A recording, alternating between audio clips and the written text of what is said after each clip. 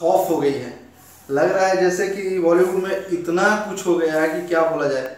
नमस्कार, सत श्रीकाल this is back in new video और बात करने चाह रहे हैं कि दीपिका पादुकोण ने जो एनसीबी ऑफ़िस में जाकर वहाँ पे जो गवाही दी है आई मीन उनके साथ जो पूछताछ हुई है, उसमें खान गैंग और भट्ट कैंप ये दोनों के बारे में आई है।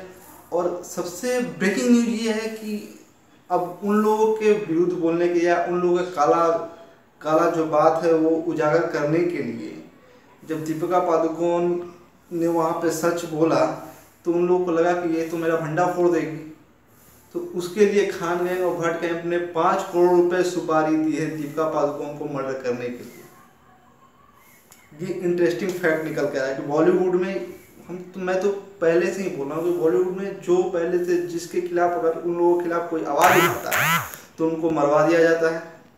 या उनको कुछ कर दिया जाता है, उनके साथ कुछ इंसिडेंट करा दिया जाता है कि ऐसा हो जाए कि उनका करियर तबाह हो जाए।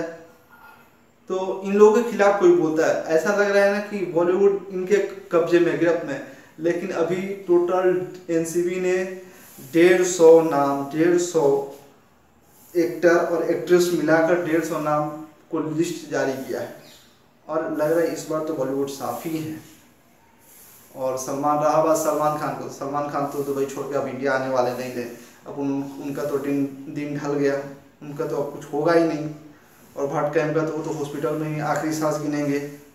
लेकिन दीपिका पादुकोण ने, क्योंकि लोग जान रहे हैं कि दीपिका पादुकोण जो है, बहुत जल्दी ही डांट से या कुछ इनसे थोड़ा सा हार्डली करके पूछा गया।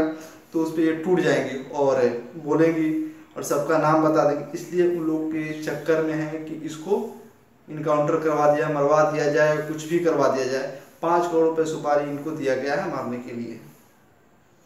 तो और और इनका भी नाम आ रहा है उसमें आदित्य ठाकरे, जो उद्धव ठाकरे, वहाँ के सीएम है उद्धव ठाकरे, उनके बेटे हैं आदित्य ठाकरे, उनका भी नाम आ रहा है। तो देखते हैं ना कि उनका नाम आता है पूरा पॉलिटिक्स और बॉलीवुड। दोनों मिक्स हो गई है वहाँ पे।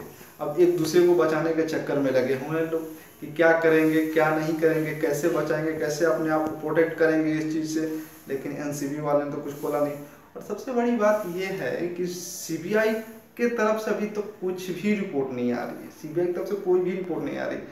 ये सुशांत सिंह के केस में ये जो हवा, जो आग उठी थी, जो धुआँ उठी थी, ये सुशांत सिंह के केस से उठी थी। और सुशांत सिंह का केस तो दब गया है और ड्रग्स का केस मोड़ पे चल गया है। ये मेरे को समझ में नहीं आ रहा सीबीआई कर क्या रही है? मतलब कि मेरे हिसाब से लग रहा है कि इनका केस जो है, सुशांत सिंह जो का केस है, उनको केस को लग रहा है कि ये लोग पूरा डब्बा में रख दिए हैं। मतलब ठंडा वो केस, वो एंगल पे कोई जाँच ही नहीं हो रही है। और प्लस में ये ड्रग्स का मैटर नया आ गया।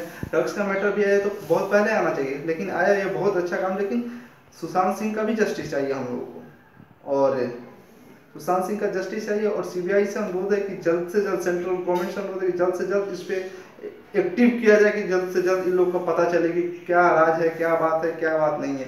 इसके पीछे कौन कौन है, इसमें हत्या करने में कौन कौन शामिल है। इसके और वीडियो को लाइक करें, शेयर करें और सब्सक्राइब करें। जय हिंद।